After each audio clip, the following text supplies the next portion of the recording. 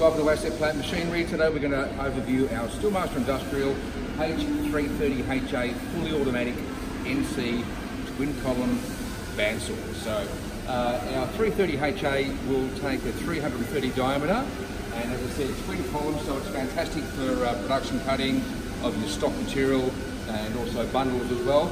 Uh, being an NC programmable controller uh, just over there as well, everything's We've got the Siemens touchscreen uh, programmable controller, so you can run that in hand mode or automatic mode. Uh, as we said, just over here too, we've got the gas strut opening safety interlock guard there as well. So this is this is the new uh, Euro model that we've brought to the markets. It's got all the, um, you know, the ModCon, the smart, and everything else that you need in today's uh, tough industrial sector. So being a twin column uh, bandsaw, as I sort of said, we've got key features on these like swarf conveyors down here. So the swarf uh, conveyor will take your uh, your chips and your, your, swarf and feed that through to the bucket just over here. Little things like this, like a little uh, hose gun as well, so you can actually wash down your uh, your bandsaw after use. We've got tungsten blade guides just up here, adjustable guides, and uh, coming around the back of the machine here as well. Obviously we've got the simple little things like the uh, oiler gauges and the swarf conveyor will run through to the the tray uh, over here, but look at the general build quality of our 330HA uh, programmable bandsaw itself. So we've got uh, everything's big, strong and industrial and we've got side guides here as well. So when you're uh, using different materials, you can obviously bring those guides in. We've got side rollers. Uh, these all come standard with the machine as well. So we've got in-feed roller tables. We also have a lot of aftermarket um, heavy duty rollers, but look at the attention to detail here. We've even got the you know, the brush uh, system there as well that protects your guides. Uh, over the back there, we've got a bundle clamp. Now that actually comes with the machine as well as standard. We're trying to feature pack all of our machines up with all the features that you know the, the day-to-day -day industrial operator will need. So that's just the parking station uh, bundle clamp itself. So when you go to use your bundle clamp, simply put that on board and away you go. So I'll hand you over to Kaylin, that'll uh, talk you through the actual control itself and um, we'll go from there. So as Dave mentioned, um, you do have access to manual and automatic controls on this thing, so you can basically do your cutting however you like. Um, automatic's obviously a lot easier if you're doing a lot of repetitive actions. Uh, manual cutting, obviously, if it's just something you need to quickly cut, they're very straightforward to do. So what we've got access to here We've got access to all, all accesses that we've got. We've got our um, sawing up and down. Um, we've got both our front and rear vices, locking and unlocking. We've got our feed and also access to our coolant pump and just obviously a work light for visibility. And then most importantly up the top, we've got our feed rate control. Um, starting the pump, basically just this little left-hand button here. That is on a little timer, so about 15 minutes of no action that will cut out. You can basically just turn it back on to restart. Now what I'll do is I'll run you through the manual side of things first. So basically what we've got, got a little screen dedicated to manual controls. So you can do everything that you can do in auto in the manual side here. Um, now these buttons are exactly the same as these, so you can use either either, depending on what you want to do. Um, if you want to do automatic, basically what we got here, um, we've got a couple of different columns you want to walk, walk your way through uh, to set up your program. It's very straightforward, obviously just one to four.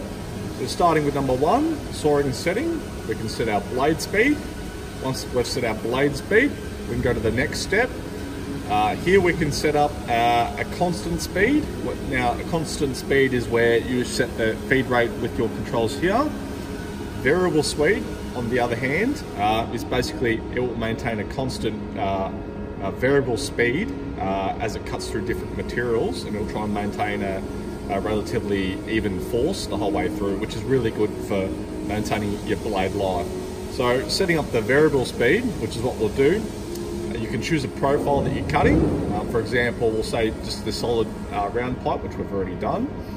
Uh, we go to our next step.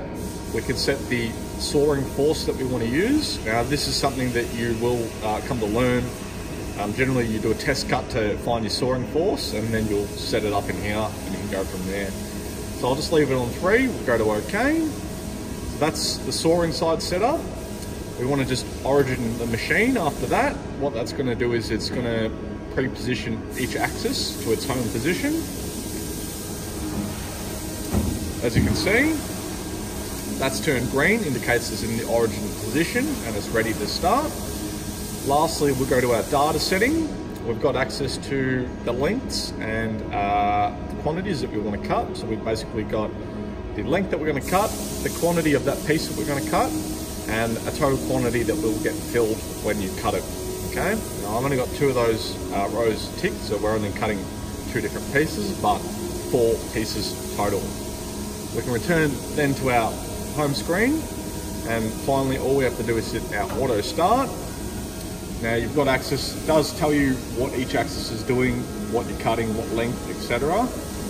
Um, there is a material sensor in the rear vise, so if you don't have material in there, which is actually what's come up at the moment, no material detected, I know it's probably really hard to see, it will stop the process, which is very useful. So I just turn that off real quickly and reorigin the machine.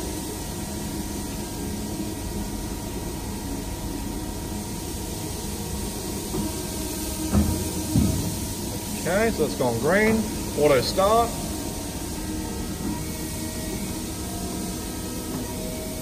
That's going to ignore the rear vice. There's nothing in there at the moment, or not on the sensor at least.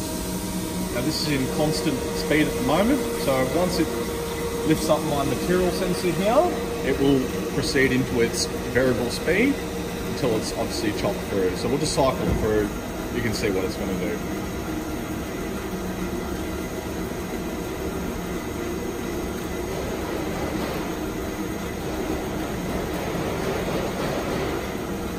Obviously hard to see because it's quite slow at the moment, but uh, you get the general idea. I